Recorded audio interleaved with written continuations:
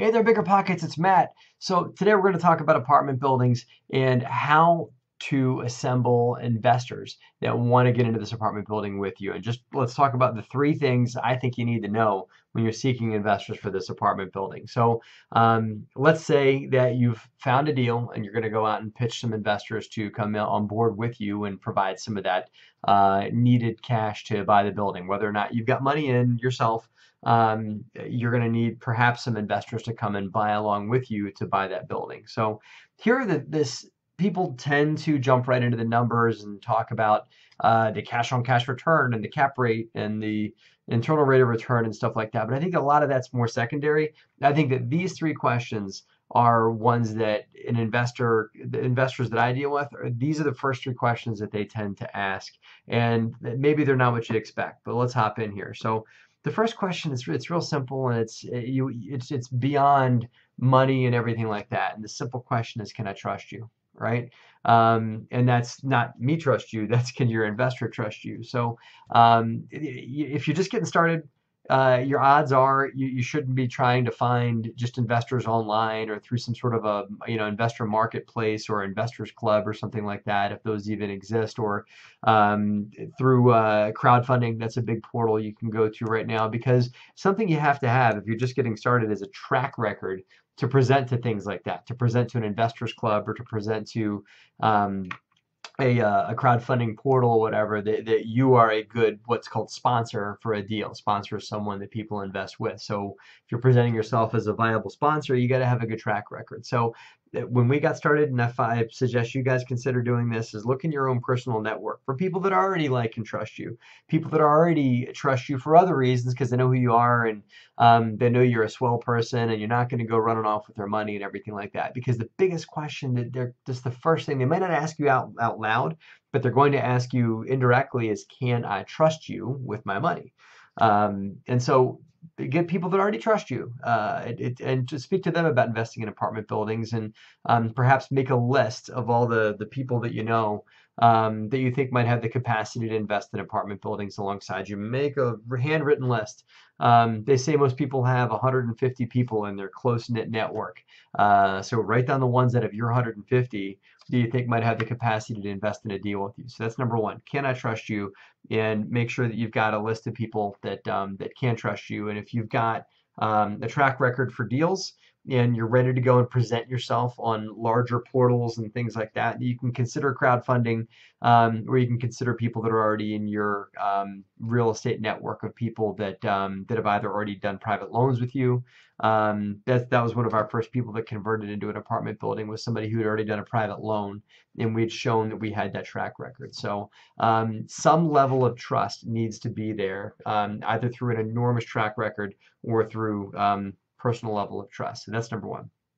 Number two, um, how are you going to protect my money? How's my money going to get um, you know secured? And so through a loan, it's real easy to answer. You're going to have a mortgage, Mr. Investor. You're going to um, have collateral on the property that if I don't pay your loan, you can come back in and take that property uh, through, through, through a foreclosure proceeding or through, if it's illegal in the state you're investing, through something called a deed in lieu of foreclosure, which they can just snap in and take it real fast. Um, but just the question is like, how's my money protected? Is my money safe? Right? It's it's a it's a good question to answer. And so for an apartment building, they're probably not going to get a mortgage position on the building with collateral. They're going to get ownership of the property. So you get you got to bring them in as a partner, as an owner. And what we do is a uh, we use a limited partnership where you, the sponsor, become the general partner, and they become the limited partner, where they're limited to losing just their investment.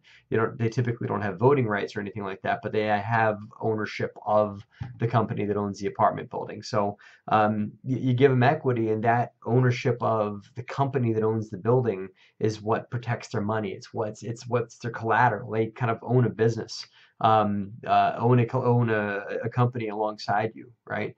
Um, and so the operating agreement that structures that company is what gives them uh, their collateral. It's what protects their money. It's it's what it's how their money is is secured in a way um, in the investment. So um, that's that's how you want to answer that question. Is like although I can't give you a mortgage, I can give you ownership of the company, and that's how your money's protected um, in that. So that's just that's the second question: is is is my money safe? right? So the last question is, and people want to answer this question first, but this is the last question. Um, that people want to spit on is like, hey, how much money are you going to make and everything like that. Uh, what returns? So that's it's what what what's the structure of the deal? Meaning, um, what kind of returns am I going to make? How quickly am I going to get my money back? Those kinds of things. Um, that you want to answer through uh, the structure of the deal and what the terms of the deal are. And so, first and foremost of that question is how quickly they're going to get their money back. So, um, answer that in the is this a three-year investment? Is it a one-year investment? Is it a five-year investment? Is it a seven-year investment? Know that before you sit down with these folks. Um, and then in, as part of that conversation as well you can talk to them about what their projected um, you know what you think their return on investment is going to be. You can't guarantee anything because it's not a flat rate payment. It's something that you you think we're going to make around this. The building's going to go up in value. We're going to um, perhaps refinance it in a couple of years, and I'll be able to get you some, if not all, your money back uh, through that refinance. So the deal structure you want to lay out and show them all these things. Um, but more just importantly, how much money am I going to make and um, how am I going to get it back is kind of all woven into that last question. So here are the questions. Make sure you answer these uh, with these folks when you sit down with them. That's number one. Can I trust you? Um, number two, uh, how are you going to protect my money?